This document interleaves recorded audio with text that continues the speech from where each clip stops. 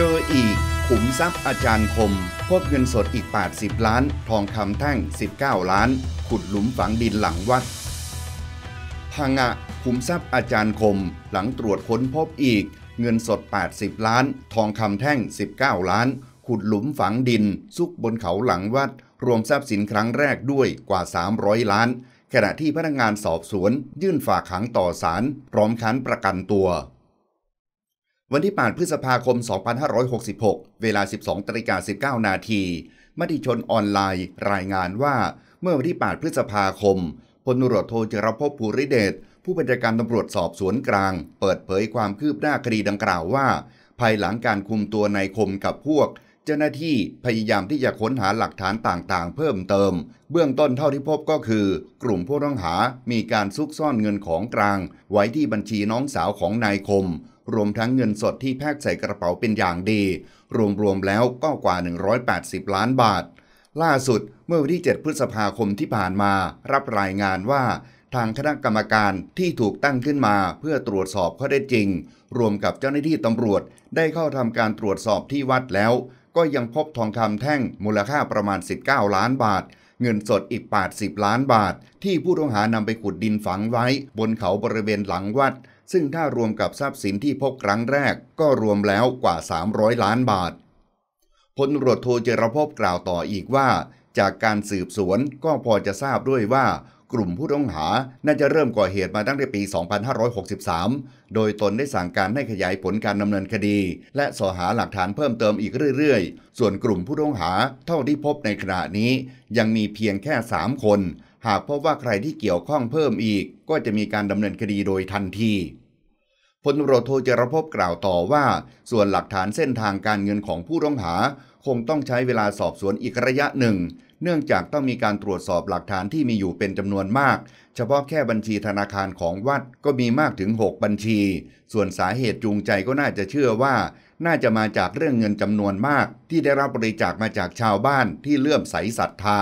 ตัวผู้ต้องหาอาจมองว่าเงินที่ได้มานั้นมาจากชาวบ้านศรัทธาในตนเอง ซึ่งมันไม่ถูกหลักขอยืนยันว่าคดีนี้ไม่ได้เป็นการแกล้งแกล้งกันอย่างแน่นอน เพราะเจ้าหน้าที่นั้นทำงานด้วยความรับผิดชอบและรัดกุม นอกจากนี้ก็ยังมีเจ้าหน้าที่จากหน่วยงานอื่นที่เกี่ยวข้อง เข้าตรวจสอบร่วมกันทุกกระบวนการอีกด้วย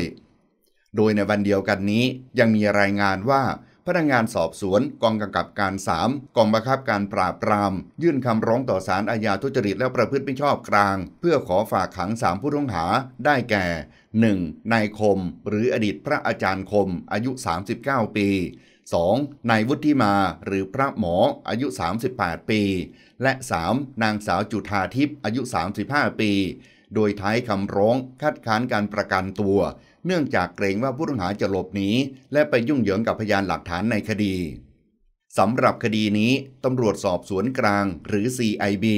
โดยกองบังคับการปราบปรามหรือบกปได้คุมตัวหนึ่งนายคม หรืออดีตพระอาจารย์คมอายุ 39 ปี 2. นายวุฒิมาหรือพระหมออายุ 38 ปี และ 3. นางสาวจุธาทิพย์อายุ 35 ปี หลังตรวจสอบพบว่าผู้ต้องหาทั้ง 3 คน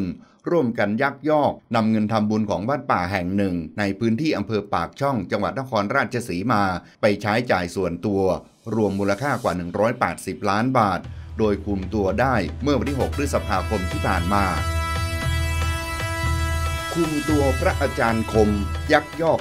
180 ล้าน หลังคำสั่งปลดตรวจสอบบัญชี ปอทเข้าคุมตัวพระอาจารย์คม เตรียมแถลงรายละเอียดวันนี้ หลังจากมีคำสั่งปลดและตรวจสอบบัญชี วันที่ 6 พฤษภาคม 2566 เวลา 14นาฬิกา29 นาทีมติชนออนไลน์รายงานว่า สืบเนื่องจากก่อนหน้านี้ มีการแชร์หนังสือคำสั่ง เจ้าคณะตำบลปากช่องธรรมยุทธ์สั่งการเจ้าอาวาสวัดวชิราลงกรณ์วรารามดำรงตำแหน่ง รักษาการแทน เจ้าอาวาสวัดป่าธรรมคีรี ตั้งแต่วันที่ 3 พฤษภาคม และมีรายงานว่าพระวชิรยานโกศล วิ คมอภิวโร หรือพระอาจารย์คม เจ้าอาวาสวัดป่าธรรมเครี จันดีอนุสรจังหวัดนครราชสีมา พระวิทยากรหนุ่มชื่อดัง ได้รับกิจนิมนต์เข้ามาในกรุงเทพ และถูกขอให้ลาสิกขา โดยทำพิธีศึกที่วัดในกรุงเทพก่อนที่จะหายตัวไปทันที เมื่อวันที่ 6 พฤษภาคม ผู้สื่อข่าวรายงานว่า กองบังคับการปราบปรามการกระทำความผิดเกี่ยวกับอาชญากรรมทางเทคโนโลยี หรือบกปอท ได้เข้าทำการคุมตัว อดีตพระวชิรยานโกศลวิคมอภิวโร หรือพระอาจารย์คม ในข้อหาเป็นเจ้าพนักงาน สนับสนุนให้เกิดการกระทำการทุจริต ซึ่งมีความเสียหายที่พบในขณะนี้ประมาณ 180 ล้านบาท อย่างไรก็ตาม วันนี้เวลา 15นาฬิกาทางกองปราบจะมีการถแถลงข่าวการคุมตัวอีกครั้งหนึ่ง โดยก่อนหน้านี้มติชนออนไลน์รายงานว่า ลูกศิษย์เศร้าหลังทราบข่าวพระอาจารย์คม ลาสิกขาเงียบ บรรยากาศวัดเงียบเหงา โดยเมื่อวันที่ 6 พฤษภาคม ผู้สื่อข่าวรายงานว่า ที่บริเวณวัดป่าธรรมเครีธรรมยุทธ์ศูนย์ปฏิบัติธรรมวิปัสสนาตำบลปากช่องอำเภอปากช่อง จังหวัดนครราชสีมา บรรยากาศเป็นไปด้วยความเงียบเหงา ไม่พบแม้แต่พระสงฆ์และผู้มาปฏิบัติธรรมกรรมฐาน ตามที่เคยปรากฏเช่นเมื่อก่อน สิทธิผู้ใกล้ชิด พระวชิรยานโกศล วิคมอภิวโร หรือพระอาจารย์คมกล่าวว่า หลังรู้ข่าวพระอาจารย์ออกจากวัดไป และลาสิกขาบทไปอย่างกระทันหัน ต่างเศร้า และไม่รู้ว่าเกิดอะไรขึ้น เนื่องจากที่ผ่านมาพระอาจารย์คม เป็นพระผู้ตั้งมั่น และเคร่งครัดในแนวทางคำสอนวิปัสสนากรรมฐาน เดินตามรอยคำสอนทางพระพุทธศาสนา และมีการพัฒนาด้านปฏิสังขรณ์เป็นพระหนุ่มที่มากด้วยบารมี จนมีลูกศิษย์เลื่อมใสจากทั่วสารทิศ สิทธิผู้ใกล้ชิดกล่าวต่อว่า พระอาจารย์คมเป็นพระที่มีอายุเพียง 39 ปี